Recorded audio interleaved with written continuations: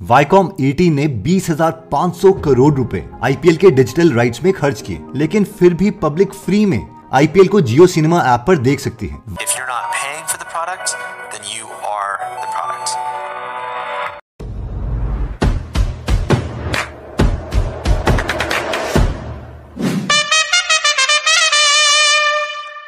Viacom 18 असल में रिलायंस की ही एक कंपनी है जो कि हम आगे चलकर बात करेंगे लेकिन इससे सवाल ये उठता है कि रिलायंस अपना लॉस क्यों करवा रही है? और तो और पिछले साल हॉटस्टार के पास आईपीएल के राइट्स होते हुए भी हॉटस्टार लॉस में ही था। इसका अंदाज़ा हम इसलिए लगा सकते हैं क्योंकि आईपीएल की एक साल की कॉस्ट पड़ती है 3.25 थाउज़ेंड करोड़ रुपीस और हॉटस्टार की एक साल की कमाई थी 1.42 थाउज़ेंड करोड़ रुपीस यानी हॉटस्टार लगभग हर एक बीस का नोट खर्च करके दस रुपए लूज कर रहा था। हॉटस्टार पेड सब्सक्रिप्शन प्लेटफॉर्म होते हुए भी लॉस में रहा। फिर आखिर अंबानी जी फ्री में आईपीएल दिखाकर अपनी इन्वेस्टमेंट को रिकवर कैसे करेंगे? देखिए, असल में जो जियो सिनेमा पर फ्री आईपीएल दिखाने का डिसीज़न है, वो अंबानी जी बहुत पहले ले चुके थे। आपको याद होगा कुछ महीनों पहले FIFA World Cup Jio cinema में फ्री में दिखाया जा रहा था। अब अंबानी जी जानते थे कि आईपीएल फ्री में दिखाने से पहले उन्हें जियो सिनेमा पर कुछ टेस्ट करने होंगे। उन्हें ये पता लगाना होगा कि क्या जियो सिनेमा हज़ारों ऑडियंस का ट्रैफ़िक एक साथ झेल सकता है या नहीं? और यही टेस्ट करने के लिए FIFA World Cup best opportunity थी।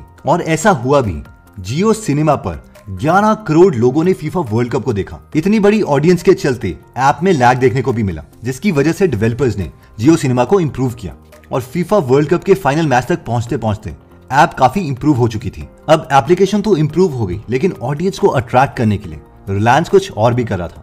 इसके लिए जियो सिनेमा में कई नई फीचर्स को ऐड किया गया। जैसे कि अब हम 4 के रेजोल्यूशन के साथ मल्टीपल कैमरा एंगल व्यू देख सकते हैं। यानी अब हम कैमरामैन पर डिपेंडेंट नहीं हैं और हम किसी भी एंगल में बॉलर या बैट्समैन को देख सकते हैं। और तो और हम 12 लैंग्वेजेस में आईपीएल देख सकते हैं। यहाँ पर हम कमेंटेटर से भी इंटरैक्ट कर सकते हैं। और यहाँ पर हमें डॉल्बी एटमॉस का एक फीचर भी मिलता है। डॉल्बी एटमॉस हमारे लिसनिंग एक्सपीरियंस को और भी ज़्यादा बढ़ा देता है। यानी कि हमें हाई क्वालिटी ऑडियो सुनने को मिलने वाली है। तो इससे सवाल तो ये आता है कि अगर हर चीज़ फ्री में है तो जियो सिनेमा अर्न कैसे करेगा?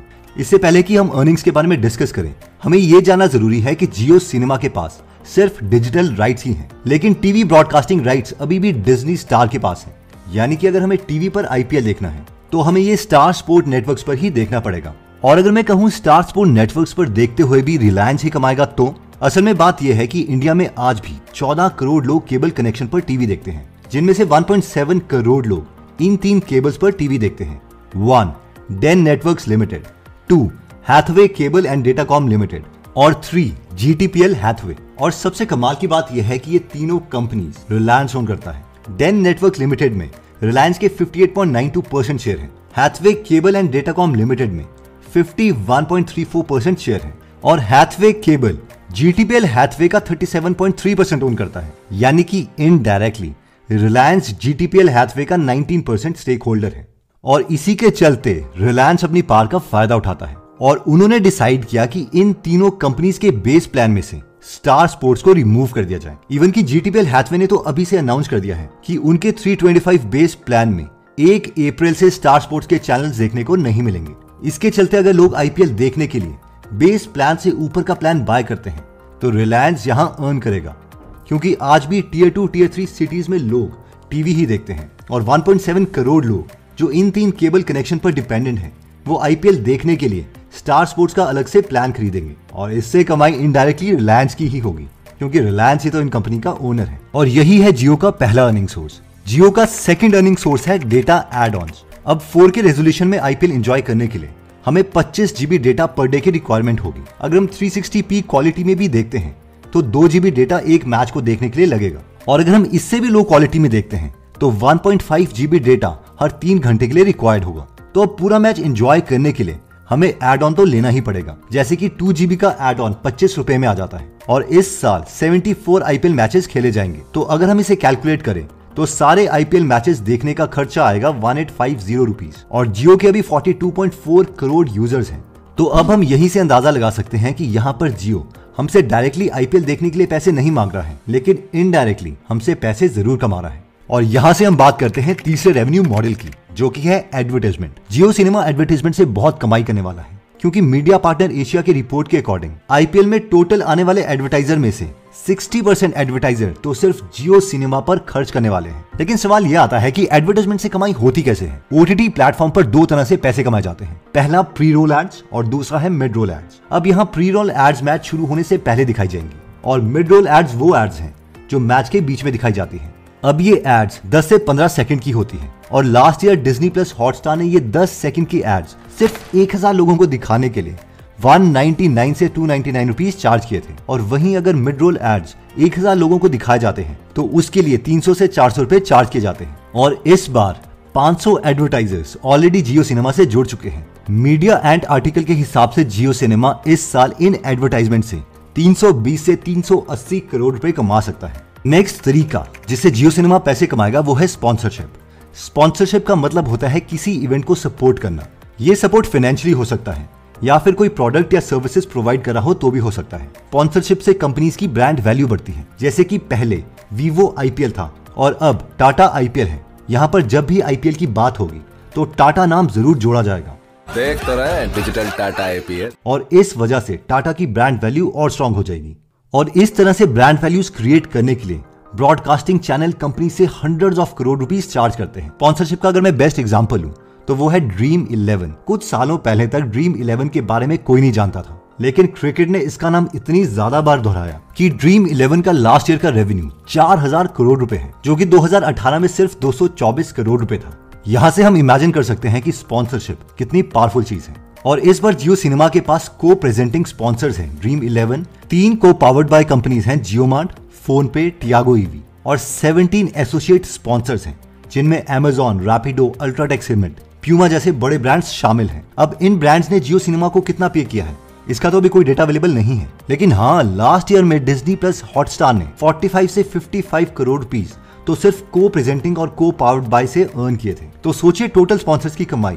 100 करोड़ से ऊपर ही होगी। और एक आर्टिकल के हिसाब से जियो सिनेमा का इस साल का टोटल रेवेन्यू सैंतीस सौ करोड़ रुपए एक्सपेक्ट किया जा रहा है। लेकिन अब असल में जियो सिनेमा कितना अर्न कर रहा है, ये देखने वाली बात है। नेक्स्ट अर्निंग सोर्स है प्रोडक्ट्स जियो ने इनडायरेक्टली पैसे अर्न करने के लिए भी प्लान बना रखे हैं। जैसे कि हमें याद होगा कि कुछ साल पहले जियो ने जियो फ़ोन लॉन्च किया था। और आज हम जियो फ़ोन में आईपीएल एंजॉय कर सकते हैं। क्योंकि इस छोटे से फ़ोन में जियो सिनेमा, जियो टीवी जैसी एप्लीकेशन भी शामिल है। एक आर्टिकल बताता है की आज भी इंडिया में 45 करोड़ लोग कीपैड फ़ोन यूज़ करते हैं। और यहाँ पर जियो की स्ट्रैटेजी है कि आईपीएल की वजह से जियो फ़ोन और भी ज़्यादा पॉपुलर हो जाए। और इस 45 करोड़ के कीपैड फ़ोन मार्केट पर भी जियो राज करे। और इसी के साथ हम जियो केबल भी यूज़ कर सकते हैं। यानी जिनकी एलईडी और एलसीडी इतनी एडवांस नहीं है, या फिर अगर वो अभी भी वो डब्बा वाला टीवी यूज़ करते हैं तो वो अपने कीपैड वाले फ़ोन और स्मार्टफ़ोन को जियो मीडिया केबल से टीवी में कनेक्ट करके आईपीएल देख सकते हैं। इस मीडिया केबल की कॉस्ट पड़ेगी एक हज़ार रूपए। और तो और जियो ने जियो फाइबर की तरफ़ से भी एक नया रिचार्ज प्लान निकाला है।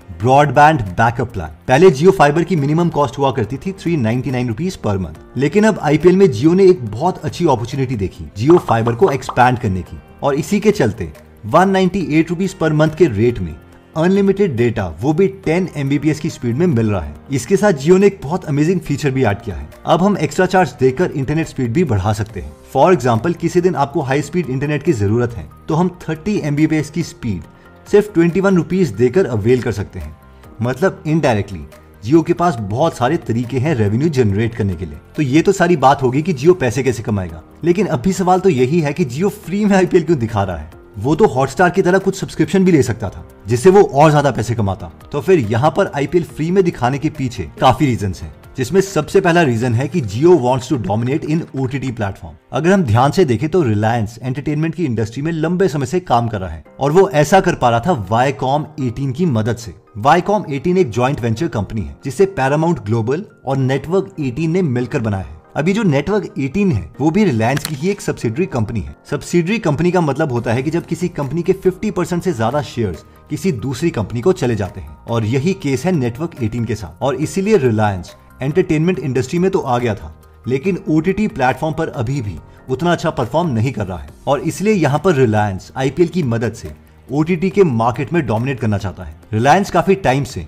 हमें मूवीज़ भी प्रोड्यूस करके दे रहा है, जैसे कि अंग्रेज़ी मीडियम बाला और हाल ही में वरुण धवन की फ़िल्म भेड़िया, यानी अब जियो सिनेमा अपना खुद का कंटेंट बनाना भी स्टार्ट कर रहा है। हिंदुस्तान टाइम्स के आर्टिकल के हिसाब से डिज्नी प्लस हॉटस्टार के भी चार करोड़ तीस लाख यूज़र्स हैं। वहीं पर अमेजोन के एक करोड़ सात लाख और नेटफ्लिक्स के पचास लाख पेड यूज़र्स हैं। और बाकी के कम यूज़र बेस वाले ओटीटी प्लेटफॉर्म जैसे ऑल्ट बालाजी जी फाइव और वूट के भी हम अगर यूज़र्स मिला दें तो कुल मिलाकर 35 करोड़ इंडियंस ओटीटी प्लेटफॉर्म का कंटेंट कंज्यूम करते हैं। और ये एक्सपेक्टेड है कि इस साल ओटीटी प्लेटफॉर्म में 50 करोड़ यूज़र पहुँच जाएँगे। और क्योंकि ओटीटी प्लेटफॉर्म का ये यूज़र बेस बढ़ रहा है तो अंबानी जी ने सोचा कि क्यों ना इस मार्केट को भी डोमिनेट किया जाए। और इसीलिए अब आईपीएल जियो सिनेमा में दिखेगा। सेकेंड रीजन है कि Jio is attracting new users ISBR business school के एमबीए स्टूडेंट ने एक रिसर्च पेपर पब्लिश किया। इस रिसर्च पेपर में दास गुप्ता की रिसर्च मेंशन की जाती है। दास गुप्ता ने अपनी रिसर्च के दौरान ये पाया कि 2019 में हॉटस्टार पर आईपीएल देखने से वॉच टाइम में सडन इंक्रीज देखने को मिला।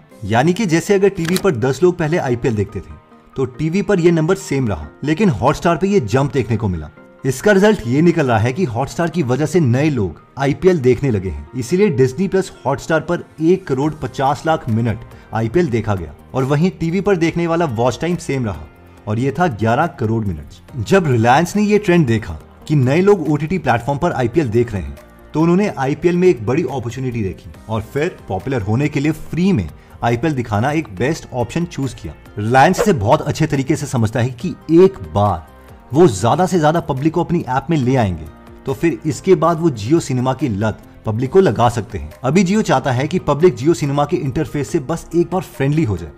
कंटेंट क्वालिटी को एनालाइज करे और ये मानने लगे कि जियो सिनेमा पब्लिक को जो कंटेंट दे रहा है, वो बेस्ट कंटेंट है। इसके बाद जियो सिनेमा को टॉप ओटीटी प्लेटफॉर्म में तब्दील होने में ज़्यादा वक्त नहीं लगेगा। और इसलिए जियो ने यहाँ पर ब्लिट स्केलिंग नाम की स्ट्रैटेजी खेली है। ब्लिट स्केलिंग का मतलब है कि स्टार्टिंग में बहुत सारा पैसा लूज कर देना, ज़्यादा से ज़्यादा यूज़र को अट्रैक्ट करने के लिए। और जियो भी यही कर रहा है। इसका बीस हज़ार पाँच सौ करोड़ लूज करने का पर्पस है अपना यूज़र बेस इंक्रीज करना। अगर हम ब्लिट स्केलिंग के बारे में और डिटेल में जानना चाहते हैं तो ये आप ब्लिट स्केलिंग बुक ज़रूर सुनिए। गीगल एप्लीकेशन पर यह बुक हिंदी में अवेलेबल है। यहाँ पर 180 से ज़्यादा फ्री समरीज अवेलेबल हैं और हर हफ़्ते हम इसमें एक फ्री समरी ऐड करते हैं। गीगल को डेढ़ लाख लोगों ने 4.8 स्टार की रेटिंग दी है। इस ऐप को ज़रूर डाउनलोड कीजिए। इसका लिंक मैं डिस्क्रिप्शन और फ़र्स्ट वन में दे दूँगा।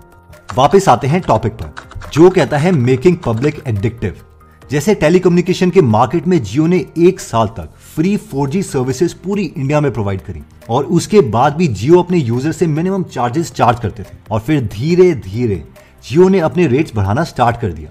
जब ये रेट्स बढ़ चुके थे, तब तक हम सब 4G नेटवर्क से एडिक्टेड हो चुके थे। इतनी स्मूथ सर्विसेज़ जब जियो ने प्रोवाइड करी तो बाकी किसी टेलीकम्युनिकेशन कंपनी पर हम कभी रिलाय नहीं कर पाए। तो हो सकता है कि इसी तरीके की स्ट्रैटेजी हमें जियो सिनेमा पर भी देखने को मिल रही हो। जैसे कि 2023 आईपीएल सीज़न हम फ्री में देख रहे हैं। हो सकता है 2024 आईपीएल सीज़न कुछ चार्जेस पे करने पर दिखाया जाए। जैसे टेलीकम्युनिकेशन की इंडस्ट्री में जियो एक रेवोल्यूशन लेके आया था। वैसे ही ओटीटी प्लेटफॉर्म में भी एक रेवोल्यूशन हो सकता है। नेक्स्ट स्ट्रैटेजी है making rural people new OTT customers इस आर्टिकल के अकॉर्डिंग रूरल एरियाज़ में अर्बन एरियाज़ के कंपैरेटिवली 20 परसेंट लोग ज़्यादा इंटरनेट यूज़ करते हैं। और ये चीज़ सिर्फ़ जियो की वजह से ही पॉसिबल हो पाई है। जियो के मार्केट में आने से पहले अच्छी इंटरनेट फैसिलिटी सिर्फ़ अर्बन एरियाज़ में अवेलेबल थी। रूरल एरियाज़ में कोई बहुत अच्छी इंटरनेट स्पीड देखने को नहीं मिलती थी। और जो इंटरनेट फैसिलिटी मिला करती थी, वो बहुत कॉस्टली थी। और यही केस अगर हम ओटीटी प्लेटफॉर्म के साथ कंपेयर करते हैं तो ज़्यादातर अर्बन एरियाज़ में ही इसकी पॉपुलैरिटी है। रूरल एरिया में तो आज भी मैक्सिमम लोग टेलीविज़न ही प्रेफर करते हैं।